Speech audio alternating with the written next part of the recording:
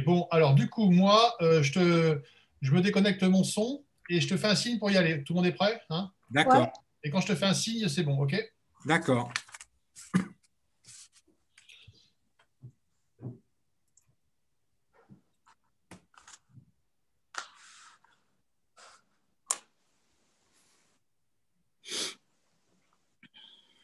Bonsoir, euh, bonsoir à toutes et tous. Je suis euh, ravi euh, d'animer cette table ronde virtuelle dans le cadre du centenaire du Parti communiste français qui est consacré au thème sur l'extrême droite, donc vaincre l'extrême droite, le combat d'hier, d'aujourd'hui et de demain. Alors, il est évident que les communistes ont beaucoup écrit depuis le début des années 20 sur, euh, sur le fascisme, sur l'extrême droite, sur euh, tout ce que euh, la société, si elle s'était développée, disons, normalement, dirais-je, aurait dû expulser comme excrément, elle peut le régurgiter, elle peut le vomir sous forme d'une barbarie non digérée, et on peut définir ainsi le fascisme avec un lien dialectique entre fascisme d'une part et d'autre part société capitaliste en crise, domination politique de la bourgeoisie, développement du capitalisme monopoliste et ses contradictions, mouvement au sein de la petite bourgeoisie et euh, nécessité du point de vue de l'extrême droite, du fascisme, d'écraser le mouvement euh, ouvrier. Alors, les communistes ont toujours été au premier rang du combat antifasciste sans concession et l'ont d'ailleurs payé de leur sang. C'est la raison pour laquelle, pour donner un exemple récent, la déclaration du Parlement européen dit euh, sur la mémoire européenne, qui renvoie dos à dos communisme et fascisme, est non seulement une honte indélébile sur ceux qui l'ont voté, sur l'Union européenne, mais aussi une manifestation scandaleuse du révisionnisme historique venant des partisans de l'ordre capitaliste établi et, in fine, ouvre la voie à une forme de réhabilitation du fascisme. Pour euh, résister et pour lutter, Dès les troisième et quatrième congrès de l'international communiste au début des années 20, les communistes ont avancé la nécessité d'un front unique, d'un front unique ouvrier qui a connu des évolutions, des contradictions aussi, des réalisations différentes et qui ont amené, par exemple, en France en 1936 à la naissance du, enfin dès 1934 d'ailleurs, à la naissance du Front populaire. Aujourd'hui encore, les convulsions de la mondialisation capitaliste, la crise de civilisation l'essor des nationalismes ethnicistes, les paniques identitaires, les attaques contre les droits et les libertés, les défis existentiels pour le mouvement ouvrier démontrent combien la lutte contre l'extrême droite et ses idées est immédiate et, demeure centrale pour les communistes et les progressistes. Aujourd'hui, en France, par exemple, dans les collectivités territoriales, les communistes sont l'aile marchante de la gauche contre l'extrême droite ainsi, à Béziers, par exemple, le Parti communiste français, lors des dernières élections municipales, a mené la liste d'union de la gauche contre le maire sortant d'extrême droite. Comment ces enjeux sont perçus dans différents pays? Quelle forme cela prend, aujourd'hui l'extrême droite? Quelles sont les raisons de son essor dans différents pays? Dans quelle mesure y a-t-il des différences entre les années 20, les années 30 et aujourd'hui?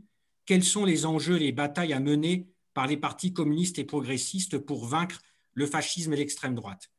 Alors, c'est l'objet de la table ronde d'aujourd'hui et j'ai le grand plaisir euh, d'accueillir pour en discuter avec nous ce soir euh, Pietro Simonenko, premier secrétaire du comité central du Parti communiste d'Ukraine, qui est directement aux prises euh, avec une lutte directe contre, contre l'extrême droite qui fait partie en Ukraine d'une solution de pouvoir et qui d'ailleurs est en train d'essayer d'interdire le euh, Parti communiste d'Ukraine. J'accueille également Annie Lévy-Sifferman, membre du comité exécutif national du Parti communiste français, responsable national des droits humains et libertés du Parti communiste français, et Serge Volikov, donc historien du communisme, et de l'international communiste, professeur à l'Université de Bourgogne, qui est l'auteur de nombreux ouvrages, dont euh, le dernier en date qu'il a écrit en collaboration, donc euh, qui s'appelle Le Parti rouge, une histoire du PCF 1920-2020, est en vente dans toutes les bonnes librairies indépendantes, bien sûr. Et je remercie également les deux interprètes, Yevgenia Anisimova et Olga Mojaïeva, donc, qui vont traduire les propos de Petro Simonenko, donc, qui s'exprimera en russe. Donc, pour entrer dans le sujet du débat, je vais commencer par poser une question euh, à Petro Simonenko, puis à Annie Lévy-Siferman sur euh, qu'est-ce qui fait aujourd'hui en Ukraine et en France le terreau de l'extrême droite. Alors, euh, Petro Simonenko, l'extrême droite est, puissante en Ukraine. On peut voir l'intervention de ces milices dans le conflit du Donbass. Elle fait aussi partie d'une solution de pouvoir du régime oligarchique issu de Maïdan. elle se réfère en Ukraine aussi au courant droitier du nationalisme ukrainien, avec par exemple des références à l'OUNUPA euh, et des milices collaborationnistes euh, pendant euh, l'occupation nazie. Comment occuper, comment analyser cette force et la puissance de ces idées aujourd'hui en Ukraine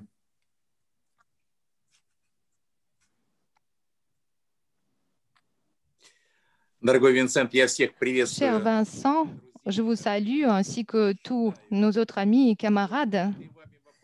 Je pense que la question que vous avez soulevée est archi importante pour penser à notre tactique. Il faut la repenser, la tactique de lutte contre l'extrême droite. Et nous devons être les initiateurs de cette lutte. Et je voudrais encore une fois soutenir tous ceux qui comprennent cette crise. Cette crise, ce n'est pas seulement une crise économique, mais c'est aussi la radicalisation du débat public et c'est utilisé par le capital afin de satisfaire ses intérêts. À quoi peut-on s'attendre Soit aux révolutions sociales, soit à l'avènement de la dictature du capital avec euh, les méthodes fascistes?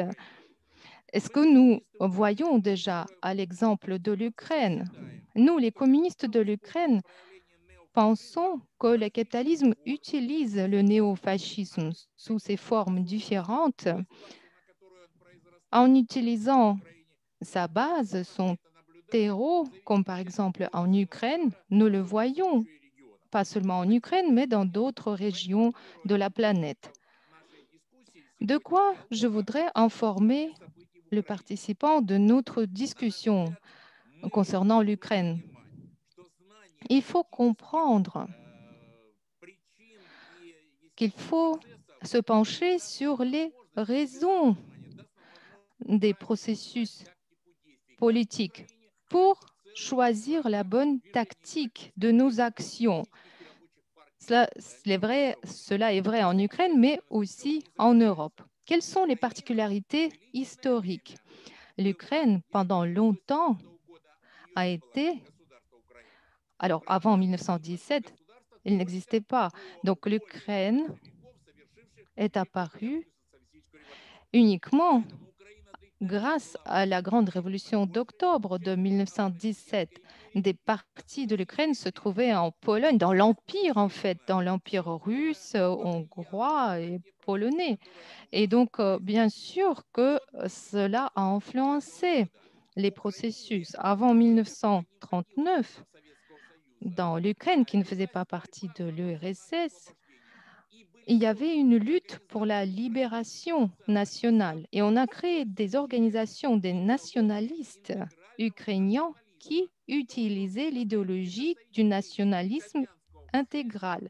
C'est en fait le fascisme italien et le nazisme allemand. Voilà cette idéologie. Et à cette époque déjà, les nationalistes utilisaient leur méthode. Donc entre 39 et 41 et continuer à lutter. À ce moment, l'Ukraine occidentale est rentrée dans l'URSS et à partir de 1941, ils ont commencé à aider activement les fascistes.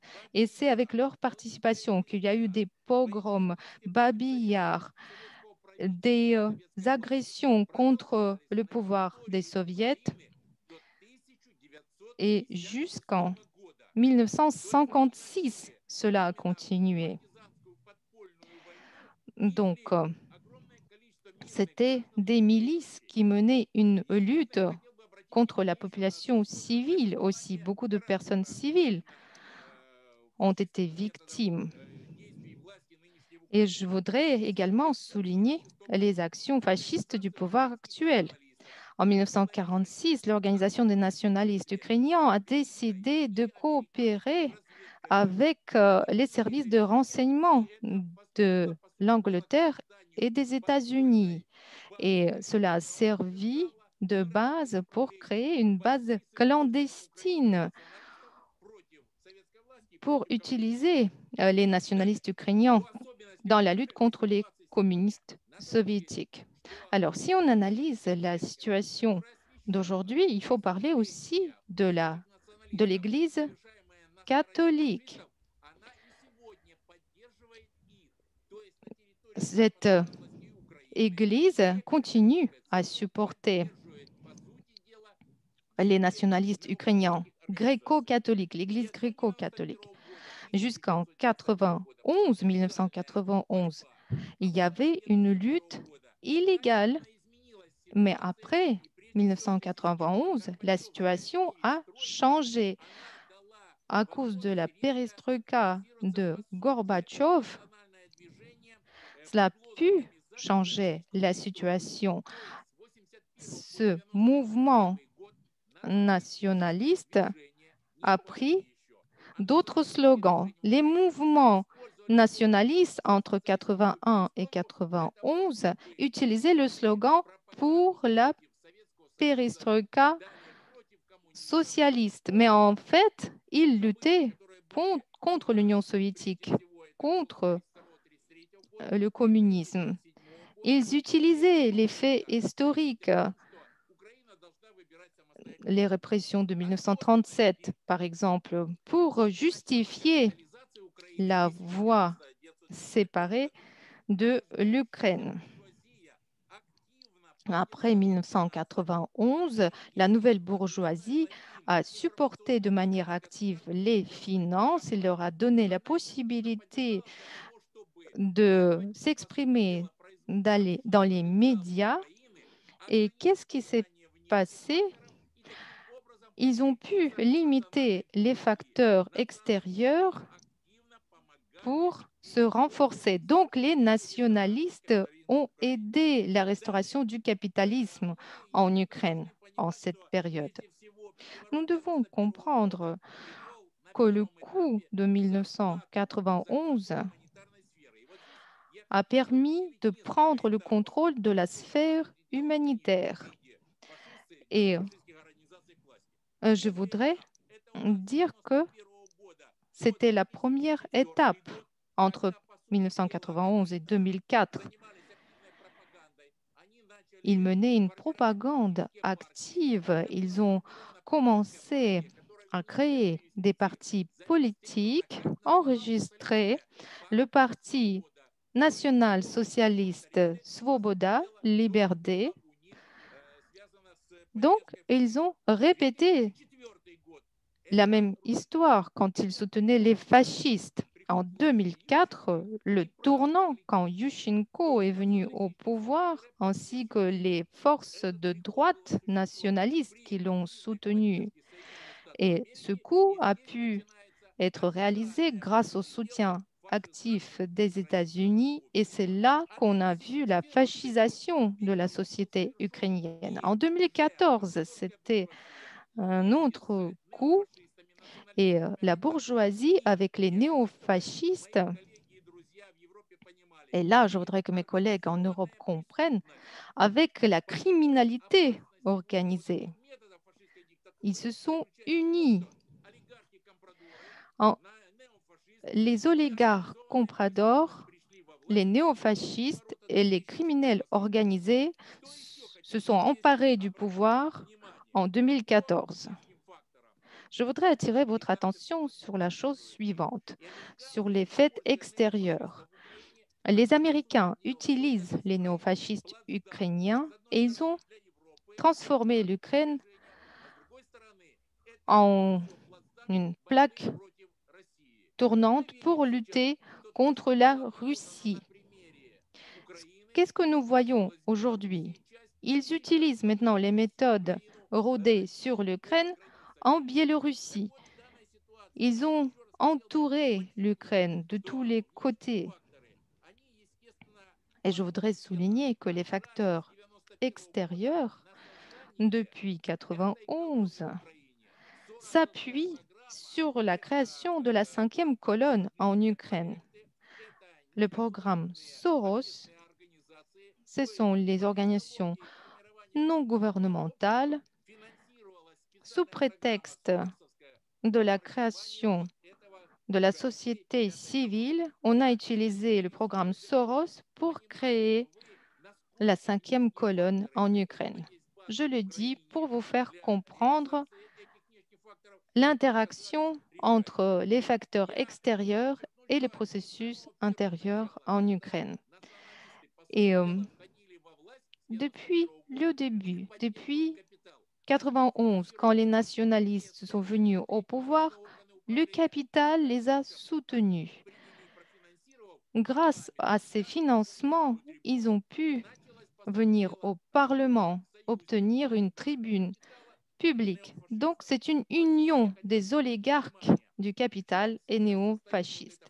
Je voudrais euh, maintenant parler de la fascisation de la société ukrainienne. Les présidents de l'Ukraine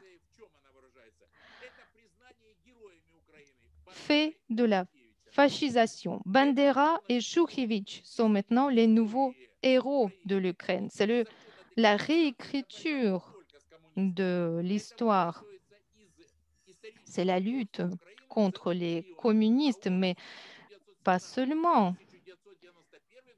C'est en fait la tentative de rayer toute une partie de l'histoire ukrainienne de 1917 jusqu'en 1991. Ils ne veulent pas que les jeunes connaissent cette histoire. Mais il n'y a pas que ça. Et pourquoi je parle de fascisation du régime actuel en Ukraine? Aujourd'hui, en Ukraine, il est interdit de parler de la révolution en Ukraine et en Union soviétique, de parler de leader de cette euh, révolution, du programme si je prends mes camarades communistes, il y a 400 euh, affaires pénales qui ont été enclenchées. Donc, euh, si je souhaite la victoire du 9 mai, de bonne fête de la victoire, on, va m'accuser de choses illégales. Et donc, nous avons déjà parlé de ça, nous avons informé des médias européens de cette situation. Et il existe des forces en Europe de soutien de néofascistes. La résolution de l'Assemblée parlementaire du Conseil de l'Europe le démontre. On parle des régimes qui ont conduit à la Seconde Guerre mondiale on essaye d'imposer la vision comme quoi c'est Hitler et Staline ensemble sont coupables du déclenchement de la Seconde Guerre mondiale. Voilà ce qu'on essaye de faire. Je voudrais donner d'autres exemples. En Ukraine, on détruit des monuments aux soldats soviétiques. Vincent, je vois qu'il faut que je m'arrête. Et euh, euh, je vois Euh, ce qui se passe, les retraités, notamment qui soutenaient les SS, euh, ont maintenant des euh, meilleures pensions. Donc, en fait, on les félicite. Et donc, en ce qui concerne les jeunes, on essaie de leur faire oublier l'histoire, de faire la propagande de fausses valeurs. Euh, liées à ce régime national oligarchique en Ukraine. Donc, encore une fois, ce n'est pas par hasard qu'en 1991, le Parti communiste a été le premier à être interdit euh, pour supprimer le Parti communiste en tant que force politique. Mais euh, réellement, c'était les communistes et la gauche qui ont combattu le fascisme. Donc euh, aujourd'hui, on veut remettre tout ça en question. Et encore une fois, en tant que communistes ukrainiens, nous voudrions affirmer aujourd'hui, il faut se réunir parce que nous devons faire front commun contre la résolution du Parlement européen parce que cette euh, résolution remet en question les décisions du tribunal de Nuremberg finalement. C'est une tendance très dangereuse. C'est une tendance très dangereuse euh, qui euh, a été vue déjà en Ukraine et qui se voit maintenant ailleurs, y compris par exemple en France. On voit euh, les méthodes fascistes qui sont utilisées contre les luttes sociales. Dans d'autres pays, on voit aussi, que le capital utilise aujourd'hui les méthodes et les, et les forces ultra d'extrême droite afin de combattre ceux qui ont une autre idéologie et afin d'empêcher la classe ouvrière de s'unir et de combattre ensemble. Merci, euh, merci beaucoup, Petro Simonenko, donc pour votre euh, analyse et des explications euh, sur pourquoi le, fascisme et les idéologies néofascistes aujourd'hui sont si prégnantes en Ukraine. Et je, pense que, l'idée que vous avez formulée de front commun contre le fascisme. Vous avez parlé de cette résolution scandaleuse euh, et honteuse du, Parlement européen euh, et, quelque chose de, nécessaire. Donc, quand vous avez aussi parlé de, la France, je vais me tourner vers Annie Lévy Sifferman. Donc, la France où le Rassemblement national est la principale force d'extrême droite est présente fortement dans le paysage politique depuis 30 ans. Euh, on voit que d'autres groupes d'extrême droite, comme par exemple Génération Identitaire, euh, sont aussi euh, actifs. On, est très inquiet, on a des glissements dans la société française qui sont très inquiétants, comme l'a démontré la relaxe des militants de génération identitaire cette semaine sur l'affaire du col de l'échelle. Est-ce que les attaques qu'on voit en France contre les droits et les euh, libertés euh, sont un signe de ce glissement en France. Est-ce qu'elle légitime aussi les positions de l'extrême droite en France? Quel regard peut-on avoir sur la situation française? Oui, bonsoir à tout le monde. Alors, d'abord, je voudrais quand même rappeler, tu as déjà fait, que l'antifascisme, c'est vraiment l'ADN du Parti communiste euh, en général et du Parti communiste français euh, en particulier, qui s'est euh, fortement engagé et mobilisé dans ce combat. C'est encore une fois notre ADN. Alors, moi, ce que je voudrais quand même préciser, c'est qu'à mon sens, il y a aujourd'hui deux formes de fascisme, d'extrême droite, disons. Il y a l'extrême droite traditionnelle que nous connaissons, que nous combattons depuis des années. Euh, l'extrême droite traditionnelle qui se diviserait elle-même entre les partis euh, organisés traditionnels comme le Rassemblement national de Marine Le Pen, et puis les organisations périphériques comme Génération, comme les identitaires, comme le GUD de mon temps, enfin voilà un certain nombre d'organisations qui reprennent de façon moins soft euh, ce que fait et ce que dit le parti euh, euh, d'extrême droite de Marine Le Pen, mais qui ne se gênent pas, eux, pour l'exprimer beaucoup plus clairement en ayant des fois des, signes ostensibles de lien et de filiation avec le nazisme ou le, le, fascisme italien. Alors, pour la petite histoire, nous avons eu à Nancy, puisque je suis nancéenne, une manifestation importante il y a quelques années quand il y a eu la montée du Front National et qu'on a quand même commencé vraiment à prendre conscience du danger que représentait euh, le Front National. On a eu une énorme manifestation, ce qui n'était pas forcément euh, toujours fréquent à, Nancy de mobiliser tant de monde.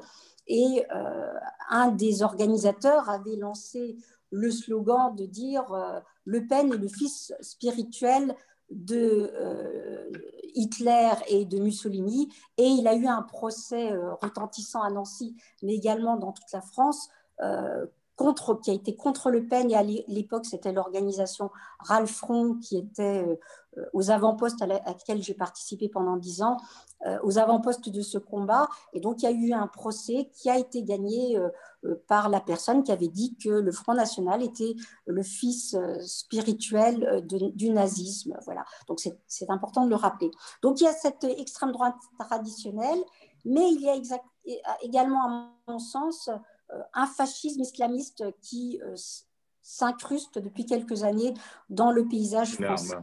Alors, qu'est-ce qui peut faire qu'il y ait une montée euh, particulière de l'extrême droite? D'abord, je ne sais pas si on a vraiment bien les réponses, parce que si on le savait, je crois qu'on n'en saurait pas aujourd'hui à ce que Marine Le Pen atteigne 40% des intentions de vote.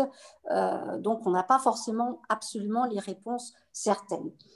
Alors, quel rôle peuvent avoir les lois qui ont été mises en place dernièrement? Alors, on, connaît à l'heure actuelle un paysage euh, particulier en France, mais aussi dans le monde, dû à la crise particulière, la crise sanitaire que nous connaissons. Donc on est dans une situation historique particulière, crise sanitaire ou euh, une pandémie euh, qu'on n'arrive pas pratiquement à endiguer, on ne sait pas si le vaccin y arrivera. Ça a révélé, cette crise sanitaire, l'impuissance du système capitalisme à pouvoir anticiper et à résoudre les problèmes euh, qui mmh. pouvaient se poser à elle. Et notamment, on a vu que l'austérité qui avait été mise en place n'a pas permis d'avoir euh, les lits suffisants, le personnel suffisant, les, médicaments qui auraient été en France. Euh, il n'y a pas eu les, les, moyens de résoudre ce problème. Je ne sais pas si ça aurait été absolument facilement possible de résoudre bien cette crise sanitaire, mais ce qui est certain, c'est que le système capitalisme était particulièrement démuni pour résoudre ce problème sanitaire, euh, qui fait que voilà, on s'est retrouvé dans une crise que rencontre euh, l'Europe, le monde entier. Cette crise sanitaire va entraîner, va être un catalyseur à une crise économique sans précédent. Mais nous savions, et nos économistes, notamment du Parti communiste, nous disent que la crise économique qui va euh, euh, être terrible, euh, historique, plus grave que la crise de 29, était déjà existante et que la crise sanitaire n'a fait que la révéler. Et cette crise économique va entraîner, évidemment, on le voit déjà, des plans de licenciement énormes qui étaient peut-être déjà dans les tiroirs euh, d'un certain nombre de, grandes entreprises, mais qui ont profité de la crise pour les mettre à exécution. Mais non seulement il y a ces grandes entreprises qui vont licencier euh, de façon euh, éhontée, mais il y a également la précarisation de tous les secteurs des petites et moyennes entreprises, tout le pan de la culture, de la jeunesse. On a vu combien la jeunesse était précarisée et j'en passerai d'autres. Donc, crise économique dont on n'imagine pas l'ampleur qu'elle va euh, connaître. À cette crise sanitaire, économique, il y a la crise sociale qui découle forcément de la crise économique. Crise sociale, on voit le nombre de pauvres en France, mais j'imagine dans tous les autres pays, euh, se multiplier. Je parlais de la jeunesse, elle est de plus en plus précarisée, elle ne peut plus faire de petits boulots, elle ne peut plus euh, euh, avoir des aides, enfin bon, c'est catastrophique.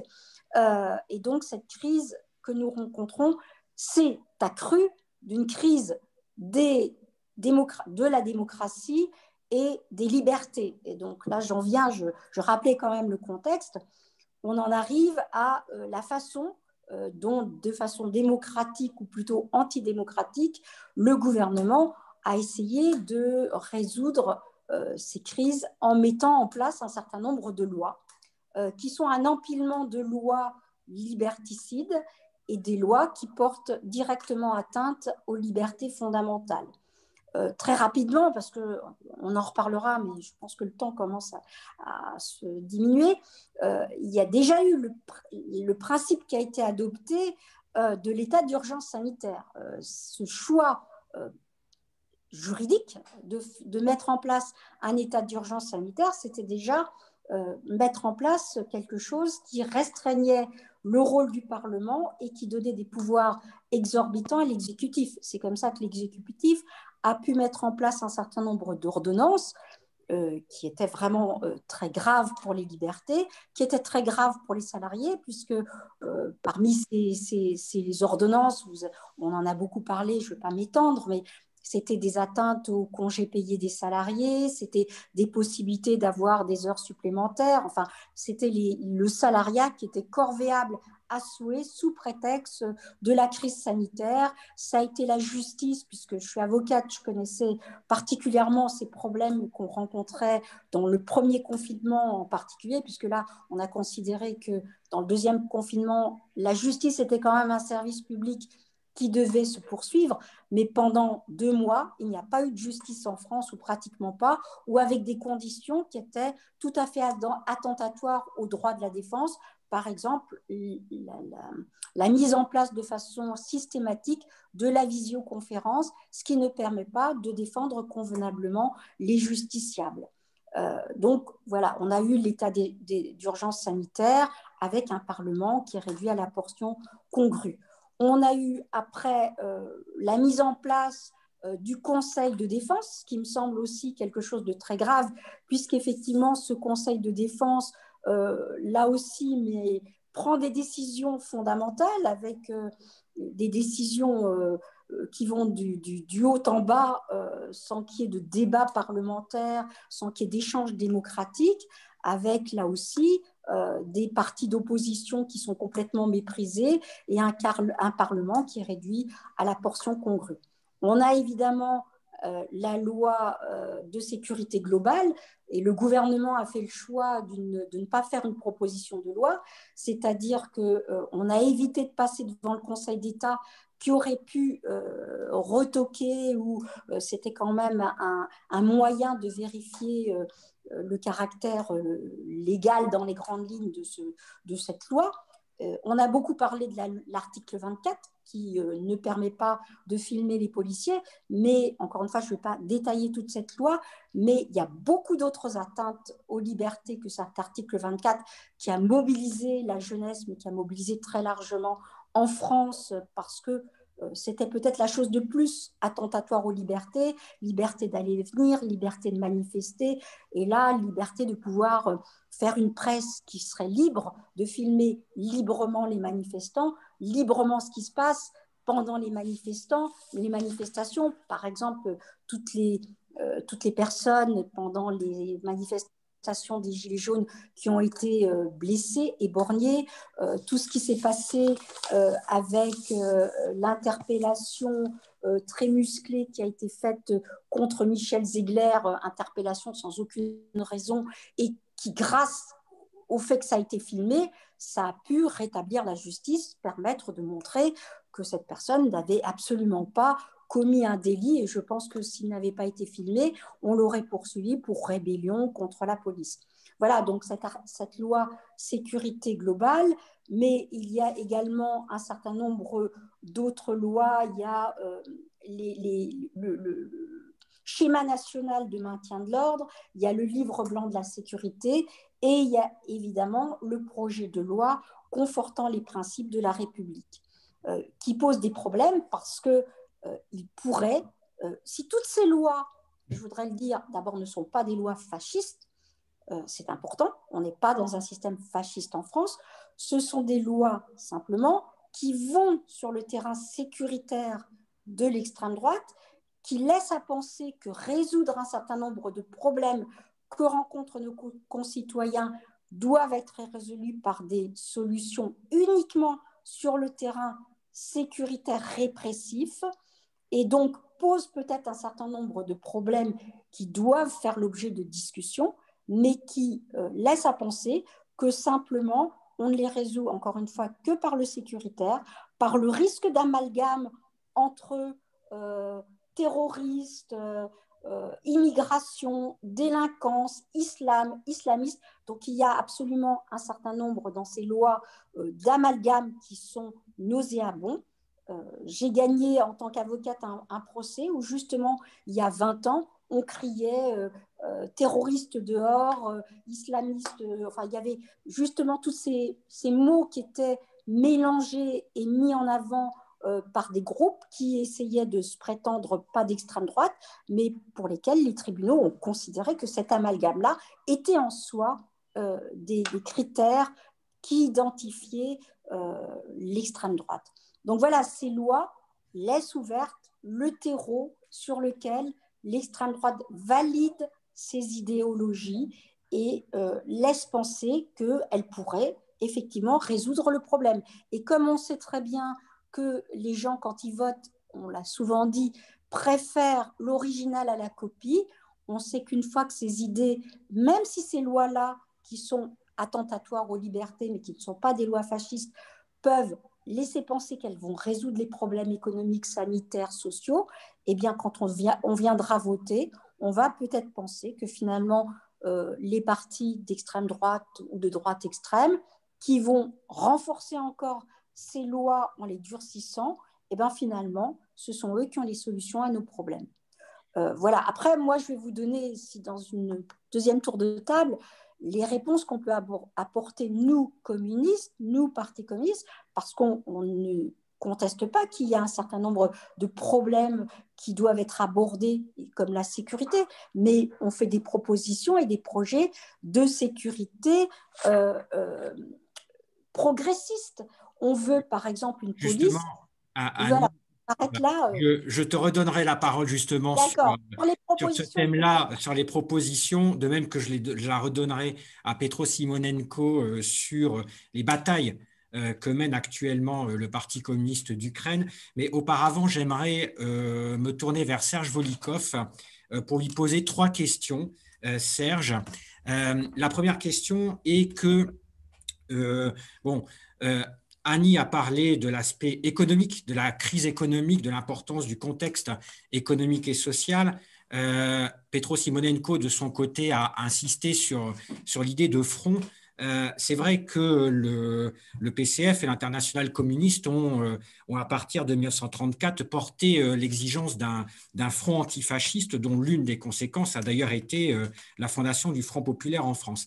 Est-ce que vous pouvez expliquer de quoi il s'agissait alors exactement? Par contre, je pense qu'il faut que vous branchiez votre micro.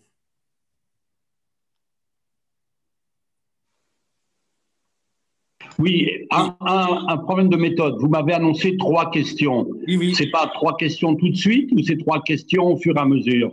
C'est trois questions que je vais enchaîner l'une après l'autre. Donc, moi je, moi, je vais faire des réponses courtes alors. D'accord. Voilà. Parce que vu l'heure, vu l'heure, trois questions avec des réponses courtes, voilà. ça fait des réponses de une minute à chaque fois. Hein, vous, vous, avez, vous m'avez donné, vous m'avez dit sept minutes au total. Mais mes collègues camarades n'ont pas à respecter 7 minutes, mais moi, je vais respecter. Euh, parce qu'autrement, on ne va pas y arriver. On va pas y arriver. Donc, bonne question. Très bonne question, mais vaste. Mais vaste. Moi, ce que je veux vous dire du point de vue historique, c'est que le combat antifasciste en Europe euh, a, des communistes a été marqué par des échecs et des réussites et que c'est toujours intéressant de réfléchir aux échecs comme aux réussites.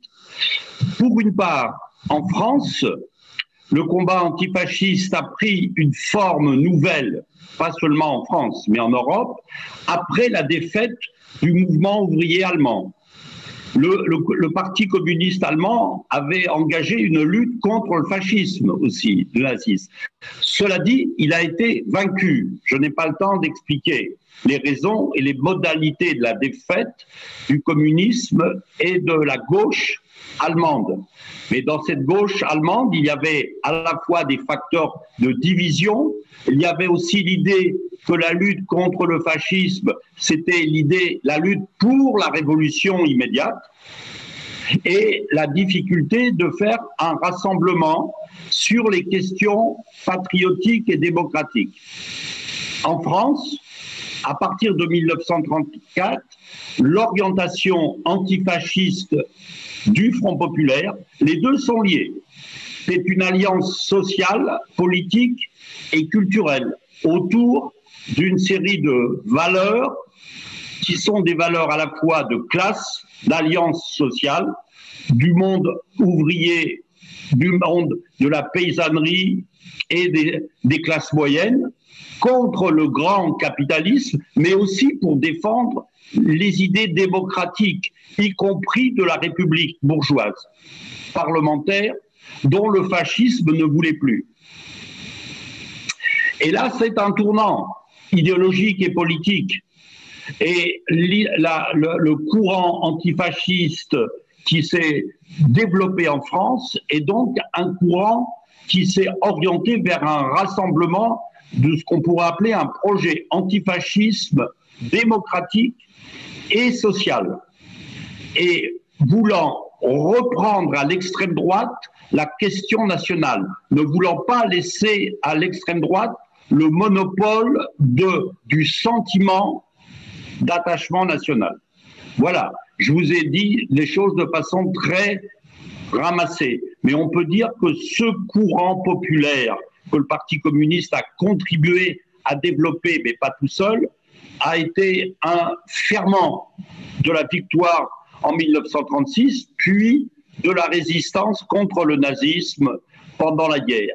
Et ce qu'il faut dire enfin, c'est que c'était une lutte qui a été sans compromission contre ce que l'on peut appeler les compromissions sur les discriminations, les discriminations et notamment l'antisémitisme. Hein, le Parti communiste s'est engagé dans une lutte résolue et permanente contre l'antisémitisme qui, en France, était la formule de la démagogie de l'extrême droite, puisque, comme en Allemagne, était mis en cause le capitalisme juif toujours et euh, la plutocratie internationale juive. C'est important, c'était une manière de détourner le sentiment anticapitaliste des masses populaires en l'orientant vers un bouc émissaire qui était le monde, euh, euh, les, juifs. Et les juifs notamment qui en plus étaient à la fois français mais aussi les immigrés.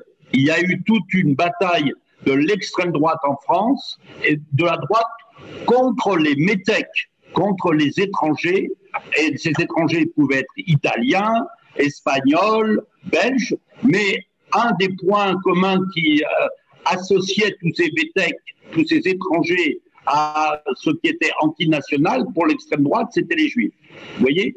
Et ça, ça a été vraiment une constante de la démarche du Parti communiste dans ces années, des années 30, 4 à, l'après-guerre. Euh, et euh, en partant de ce que vous venez d'expliquer, quelles, sont, avec votre regard d'historien, les similitudes et les différences entre cette période des années 30 et la période actuelle? Alors, euh, il est évident que euh, ce que Madame euh, Siperman Lévy a évoqué, le terreau de la crise économique et sociale et politique est tout à fait important aujourd'hui, comme il était important dans les années 30. Euh, c'est pas la même crise pour les pays de l'Europe de l'Ouest je fais, je pense, une différence. Quand on parle de l'Europe, il faut avoir une. Et il, devait y avoir aussi un, un, camarade du Brésil. Quand on a une réflexion globale et mondiale, cette réflexion doit être globale et en même temps différenciée. On ne peut pas euh, oublier l'histoire des différences, des géographies, des territoires. Et en Europe, quand on parle de l'Europe, il faut avoir aussi cette réflexion-là. Donc moi, je parle là maintenant de l'Europe de l'Ouest et dans l'Europe de l'Ouest, de la France en particulier. Similitudes et différences. Dans les euh, similitudes, il y a le terrain de la crise économique et sociale. Il y a une crise de la perspective politique. Et de même que dans les, années 30, il y avait une crise de la perspective politique, mais qui était différente, puisqu'il y avait l'image de la révolution russe, il y avait l'image de l'URSS et d'une autre société. Mais il y avait aussi l'image de l'extrême droite triomphante et du nazisme et du fascisme qui se présentait comme un contre-modèle. comme un autre modèle. Donc il y avait dans cette crise des années 30 l'idée qu'il y avait plusieurs modèles alternatifs. Aujourd'hui, la, la, conception des modèles alternatifs, à mon avis, est différente. Et puis surtout, on a parlé des mesures de l'État. Je crois qu'il y a une deuxième différence, c'est-à-dire le développement à droite de forme et d'extrême droite du libéralisme économique associé à l'autoritarisme d'État, à l'État autoritaire. Alors que dans les années 30, ce qui était présenté par l'extrême droite, c'était une grande économie dirigée, un projet d'économie dirigée. Aujourd'hui, l'extrême droite même, euh, disons, reprend les thèmes du libéralisme triomphant. Prenons Bolsonaro, prenons euh, euh, Trump, les républicains américains. On est dans un libéralisme général, mais associé à des mesures à la fois autoritaires d'État, de contrôle des populations et surtout de mise en scène des discriminations. Je terminerai par une question qui peut-être fait le lien avec l'Ukraine, la France, c'est le problème de la mise en concurrence des populations ouvrières et du monde du travail à l'échelle européenne. Cette mise en concurrence, elle est très importante pour comprendre ce qu'on pourrait appeler la dynamique des discriminations, c'est-à-dire la question de l'immigration, la question de l'opposition aux étrangers, qui est un ressort de l'extrême droite en France, en Europe occidentale, mais aussi en Europe centrale et orientale. Cette utilisation de la mise en question des immigrés et des étrangers fonctionne comme une réponse à la concurrence entre les travailleurs. Et ça, c'est quelque chose qui est une forme contemporaine de ce qu'on pourrait appeler l'extrême droitisation de la société du point de vue culturel et politique. Euh, et euh, rebondir sur euh, une partie des propos de Petro Simonenko quand il a évoqué les enjeux de mémoire historique en Ukraine. pour vous, comment vous décririez en fait cet enjeu aujourd'hui dans le, le, contexte de la lutte contre l'extrême droite aujourd'hui Je vais être très, très bref. Euh, la résolution du Parlement européen est une manière d'escamoter le sens global de la Seconde Guerre mondiale et de faire disparaître la dimension antifasciste et euh, de ce qu'a été le combat contre le nazisme et le projet de la grande Europe, du Reich européen, du nazisme avec la destruction de l'Union soviétique, mais aussi de l'indépendance des nations européennes sous le contrôle nazi. Mais le Parlement européen utilise pour cela ce qui ont, ont été aussi les, pas les incohérences, mais les calculs et des erreurs, à mon avis, des erreurs politiques de la politique stalinienne, ce qu'a été la politique stalinienne en Europe. La réelle politique stalinienne a, commis, a commis, a eu des effets négatifs. Et si on oublie ces effets négatifs, on ne peut pas être convaincant pour défendre la mémoire de l'antifascisme. Je prends juste une question, même à propos de la Pologne. Si l'on ne comprend pas ce qu'a été la disparition de la Pologne et le partage de la Pologne en 1939, on ne peut pas être euh, convaincant. De même, les annexions des pays baltes. Et c'est les dirigeants aujourd'hui de ces pays dans l'Europe élargie qui utilisent ces, ces politiques staliniennes pour justifier la, euh, en quelque sorte l'effacement de ce qu'on peut appeler la mémoire du combat anti-nazi, antifasciste. Aujourd'hui, il faut absolument défendre non seulement la mémoire, mais le sens des résistances des peuples européens au nazisme et le combat qui les a unis pour euh, restaurer la démocratie. Donc c'est très clair que la résolution du Parlement européen, non seulement est critiquable, inadmissible, mais il faut la combattre et il faut lui opposer une autre démarche collective. Merci beaucoup, euh, Serge Volikov, pour, euh, pour votre éclairage. Et donc, je me retournerai euh, vers nos deux représentants de, de forces politiques auxquels je vais demander un exercice difficile, c'est-à-dire de répondre en, en, cinq minutes chacun à une question qui est... Moi, c'était beaucoup de travail aussi hein, pour moi. On va s'y mettre. Voilà, qui est, donc il faut que tout le monde s'y mette, euh, qui est dans le contexte euh, que nous avons décrit. Euh, je vais me tourner d'abord vers Petro Simonenko.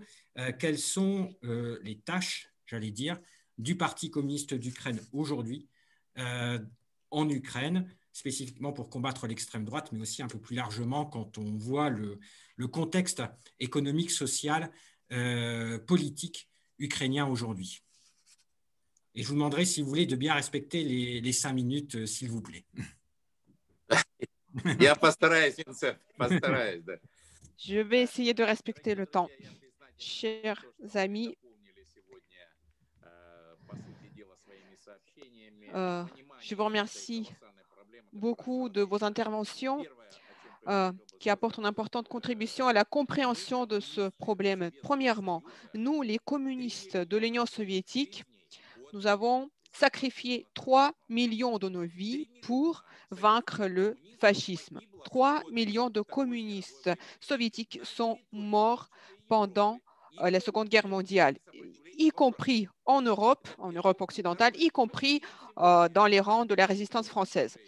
Maintenant, euh, aujourd'hui, qu'est-ce que nous devons faire? Premièrement, à l'initiative du Parti communiste de l'Ukraine, nous avons fondé un comité antifasciste ukrainien dont le but est de réunir toutes les forces antifascistes et d'organiser des manifestations qui permettent d'expliquer le sens, le vrai visage du fascisme en Ukraine qu'il s'agisse euh, des événements de la Seconde Guerre mondiale, de Babillard ou d'autres événements. Donc, euh, qui est dirigé, ce comité, par le secrétaire euh, du, Parti communiste de l'Ukraine. Deuxièmement, il faut cesser la guerre civile en Ukraine. Je veux te rappeler, Vincent, en 2014, grâce à votre soutien, j'ai pu intervenir euh, devant l'Assemblée nationale. Et à l'époque, je leur ai dit, il ne faut pas se tromper dans l'évaluation des événements qui se passent dans le Donbass. Il y a la guerre civile dans cette région et nous, nous voulons cesser cette guerre civile euh, par tous les moyens. Maintenant, nous, euh, effectuons un grand travail euh, idéologique contre l'idéologie de fascisation.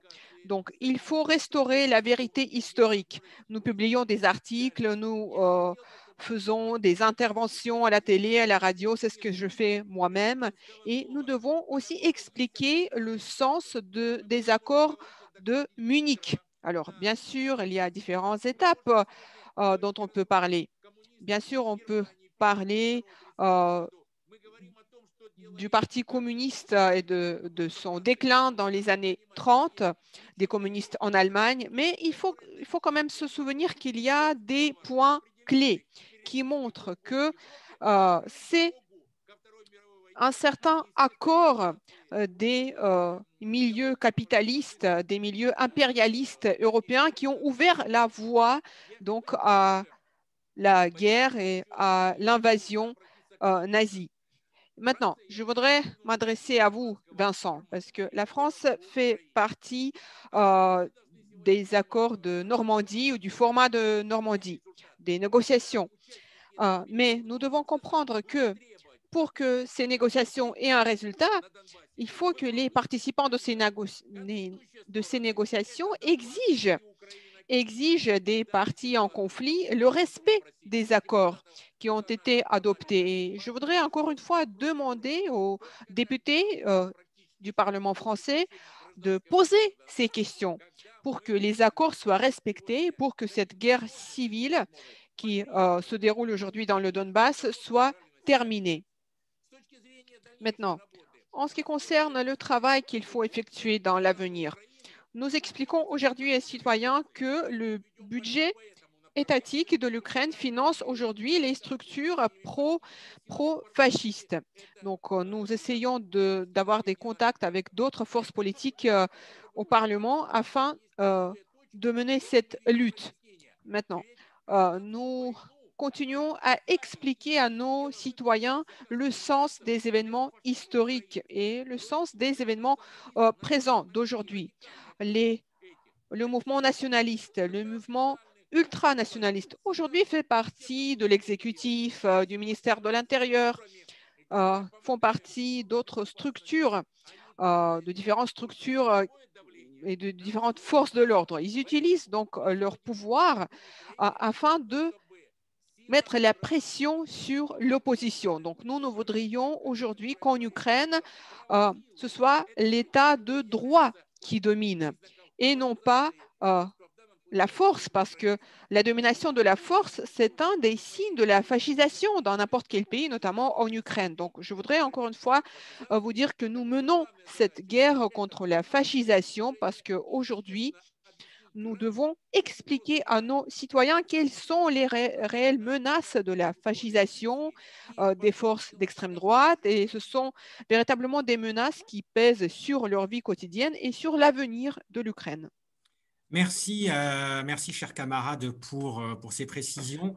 Et je, je, souhaite également rebondir sur ce que tu as dit sur le fait que, effectivement, le Parti communiste français a pris plusieurs initiatives pour le respect des accords de Minsk, euh, pour un, règlement pacifique du conflit du Donbass et euh, nous poursuivrons euh, l'effort de solidarité avec vous sur ce sujet-là.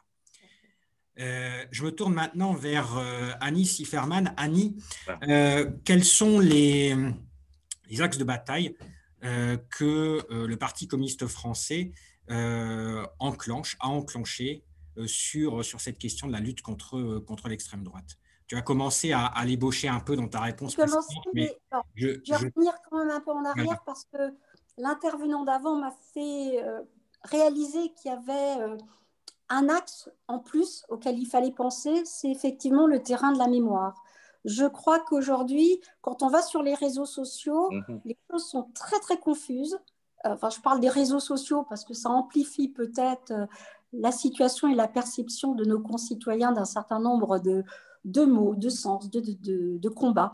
Euh, et donc, il y a beaucoup de choses qui sont très floues. On appelle fasciste euh, un peu tout et n'importe quoi. Euh, et je pense quand même qu'il y a beaucoup de gens qui sont morts pour le combat des libertés et qu'on ne peut pas utiliser n'importe quel mot à n'importe quel moment. Et je crois qu'effectivement, un travail que j'appellerais de mémoire qui se fait, mais peut-être spécifique au Parti communiste qui, le fait, puisque c'est le centenaire et qu'on y travaille. Mais je crois qu'il y a beaucoup de, de choses qui sont confuses dans ce qu'on lit et ce qu'on entend. Euh, sinon, je voulais aussi rappeler un point important, c'est que les deux extrêmes droites que je rappelais, c'est-à-dire l'extrême droite traditionnelle et l'extrême droite euh, islamiste, avaient quand même comme point commun, et ce qui me semble, avait plusieurs points communs, mais un projet commun à l'égard des droits des femmes, donc euh, une importance de réaffirmer par les communistes les rôles, les droits des femmes. Je pense que c'est important. Et ils avaient aussi euh, un objectif commun qui est de diviser les citoyens, euh, de les renvoyer à les assigner à une assignation identitaire et donc de diviser par là même la classe ouvrière. Et je crois qu'il faut qu'on reste soudés. on parlait tout à l'heure de front, front commun. donc voilà, il faut que les citoyens euh, ne se trompe pas de colère, comme on dit, c'est-à-dire que l'ennemi, c'est pas le blanc, le noir, euh, le juif, le musulman, l'arabe. L'ennemi, c'est le capitalisme, euh, c'est ce combat-là qu'on doit ensemble mener et pas être ramené à notre identité. Et je souligne que justement sur les réseaux sociaux, ce n'est pas même qu'au sein de l'extrême droite qu'on voit ces confusions-là sur le racialisme. Sinon, ce, à quoi il faut s'attaquer aussi, c'est effectivement assécher le terreau sur lequel pousse, euh, se développe l'extrême droite, qu'elle soit euh, encore une fois extrême droite traditionnelle ou islamiste. Alors ça veut dire effectivement réinvestir le terrain perdu de la République dans les quartiers, notamment investir par les services publics partout, là où disparaissent les hôpitaux, là où disparaissent les bureaux de vote, euh, là où disparaissent les commissariats, parce qu'on nous explique qu'il faut faire de la sécurité, puis aujourd'hui on entend que je ne sais combien de commissariats vont disparaître. Donc effectivement, un, des points sur lesquels on doit se battre, c'est qu'il y ait des services publics partout, euh, sans discrimination en fonction du lieu géographique où on est euh, en France, pour que tout un chacun, quelle que soit leur origine, et droit à pouvoir se soigner, à pouvoir se cultiver et pouvoir s'éduquer. Donc, et également, évidemment, le problème de l'école. On a tout un, pan de nos propositions concernant l'école, les besoins de, d'embaucher du personnel d'ailleurs dans tous les services publics, d'augmenter les, salaires euh, des fonctionnaires pour qu'ils soient en nombre suffisant pour faire face à leur travail d'éducation, parce que quand je parlais du travail de mémoire, c'est aussi le travail des enseignants. Donc voilà, ne pas laisser euh, le terrain sur le terrain et le terreau de, des gens qui se sentiraient complètement oubliés de la République et des services publics. Il y a évidemment le combat contre le racisme.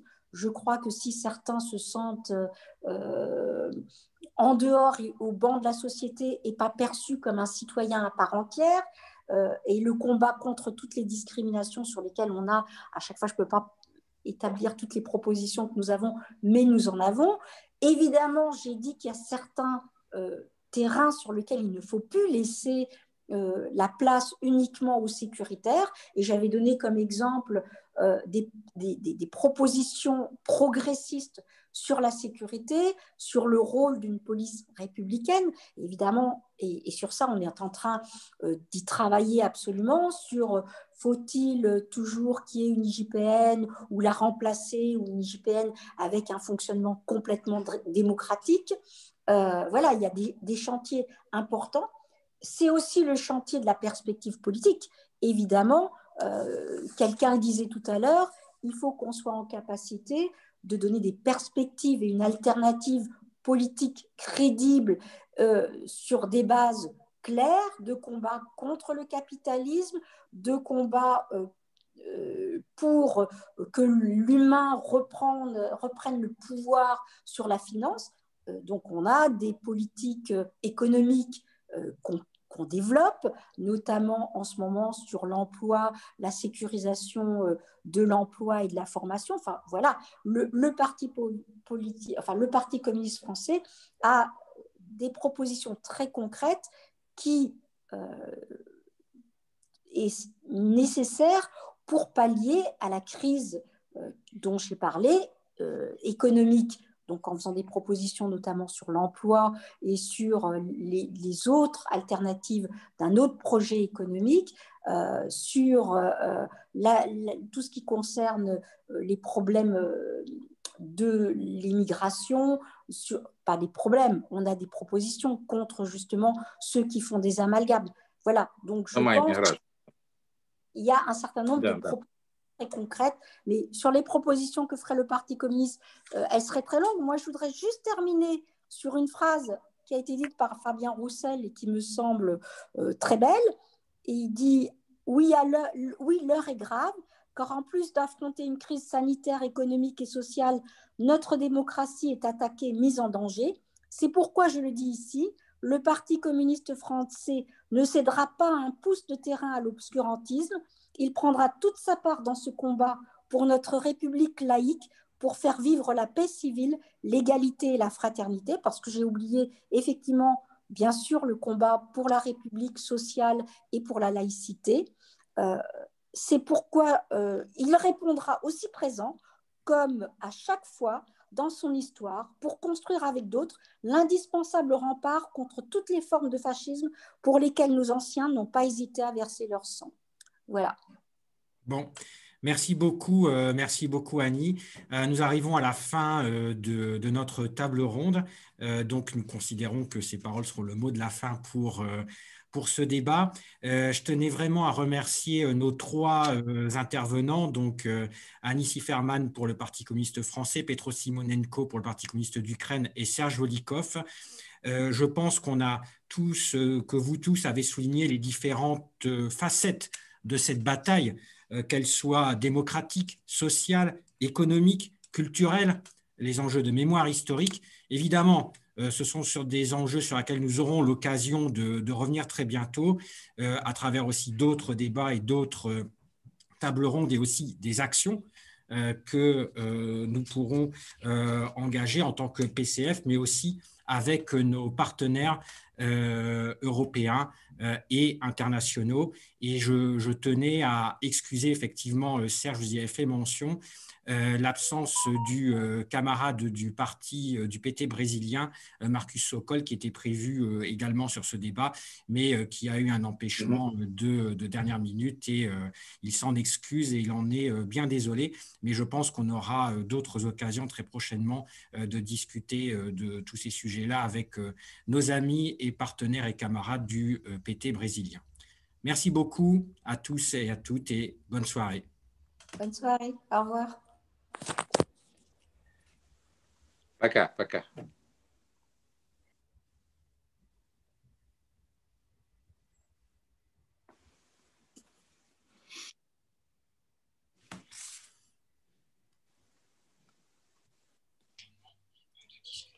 Alors, attends, attends, attends, bougez pas. Euh, je remets mes trucs. Euh, ça va Ça va. Euh, tu pourrais, s'il te plaît, euh, me renvoyer l'enregistrement parce que j'ai une petite coupure. Euh,